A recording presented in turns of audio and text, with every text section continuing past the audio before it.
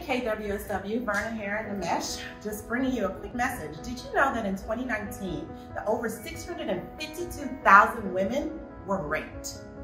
And over 40% of women in the United States have experienced sexual violence. Here's one that just blows my mind.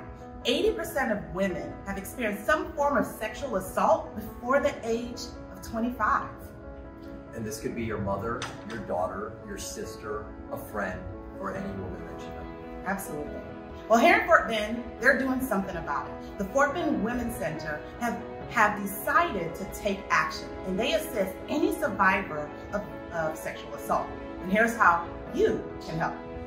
So on May 13th, we are celebrating Keller Williams Red Day, mm -hmm. right? A day that we utilize to have community outreach. And the special, this is a special event we're having this year. Absolutely. You've seen the flyers all around, and Red Day stands for Renew, Energize, and Donate. And that's exactly what we're here to do. We're here to renew and energize and donate to the Fort Bend Women's Center. So see the details below in our description and come out and support. Remember, this could be your sister, your mom, your wife, your friend. Let's do something about it and end sexual violence now. See y'all. See you. Your part.